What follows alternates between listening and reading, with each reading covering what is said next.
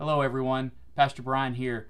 Wanted to let you know some exciting news today. Many of you know we've had a director of family ministries job uh, advertised over the last few weeks, and before that, a youth director job.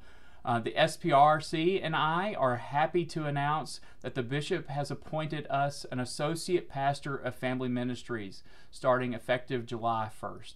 Vicki Wood is joining us from Winterfield and Longview, where she has been the pastor.